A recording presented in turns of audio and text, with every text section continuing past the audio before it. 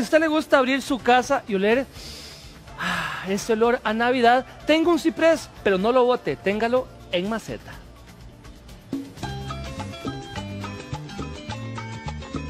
En Costa Rica generalmente teníamos como dos opciones, que era o un arbolito artificial que no nos da como ese, ese acabado en la decoración y tampoco el aroma, que es muy importante, que es muy tradicional. La otra opción eran arbolitos cortados. El problema de los arbolitos cortados es que uno los corta, los pone dentro de la casa y ya como a la semana uno se va dando cuenta que se va poniendo feo, se va poniendo como un poquito marchito. Eh, la ventaja de ellos es que ellos permanecen frescos porque son arbolitos vivos. Ellos están sembrados en maceta desde pequeños y ellos se han desarrollado ahí. En este tamañito, ellos tienen un año y medio de edad. La idea de nosotros es que se pueda aprovechar el árbol durante la temporada navideña.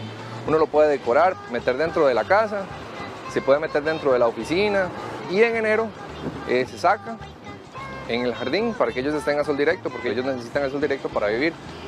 Eh, lo mantenemos todo el año en el jardín, decorando. Incluso muchas familias lo cuidan todo el año, lo chinean, lo están pelucando y ya en diciembre otra vez lo volvemos a utilizar. Ofrecemos uno que es un poquito más pequeño, que es eh, muy útil para las personas que quieren empezar a criarlo y que es un poquito más económico. Este anda alrededor de metro 20, metro 30, metro 40 eh, centímetros de altura.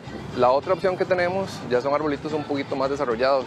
Estos tienen un año y medio apenas de desarrollo, estos tienen tres años de desarrollo. El ciprés en el suelo crece muy rápido. En maceta los cipreses tienen la limitación del espacio para que la raíz crezca. Nosotros recomendamos que cuando ustedes lo compren, por ejemplo este arbolito, se puede trasplantar una maceta un poquito más grande para que el otro año crezca y tenga un poquito más de sustento la raíz para agarrar energía y seguir creciendo.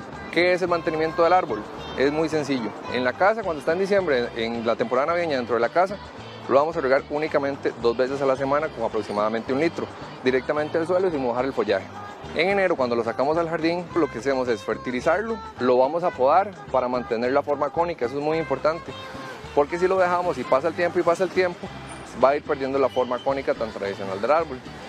Y regarlo, siempre se le gusta un poquito más el agua, por cuestión de que el sol lo deshidrata y el viento también, vamos a regarlo de día de por medio. Y los precios inician desde los 20 mil colones, igual pueden venir y verlo sin ningún compromiso.